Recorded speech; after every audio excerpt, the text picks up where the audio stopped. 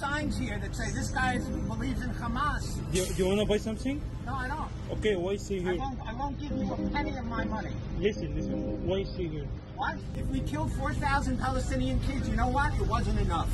It wasn't enough. Go, go, go. I'm standing here. I'm an American. I have free. It's it's a free country. It's not like Egypt.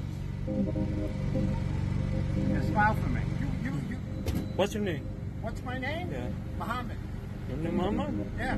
Are you sure?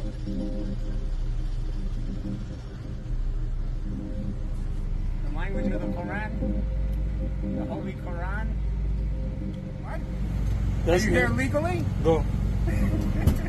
Why should I go? It's a free country. It's not Egypt here. Okay, I'm gonna call the police. Go.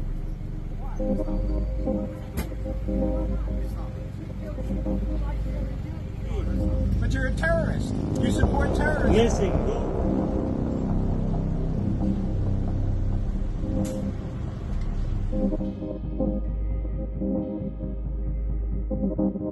But you should learn English. It'll help you. Of course, When they yeah. deport you back to Egypt.